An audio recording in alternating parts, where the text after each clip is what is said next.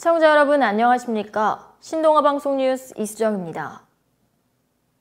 경기 북부 재난 대응 컨트롤 타워, 경기도 북부 소방재난본부, 의정부 소방서 합동청사가 8.15 개청식을 갖고 북부도민들의 안전을 지키는 본격적인 중추 역할에 나섭니다.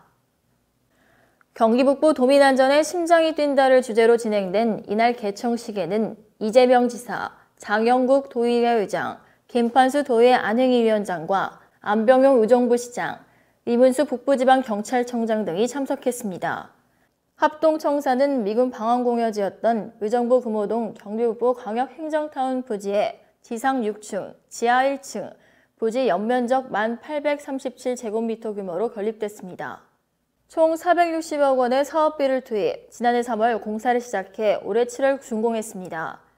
신축 합동청사에는 북부소방재난본부 및 의정부 소방서 사무공간, 재난종합지휘센터, 재난대책회의실, 대강당, 체력단련실, 민원실, 차고 및 주차장 등의 시설이 들어섰습니다.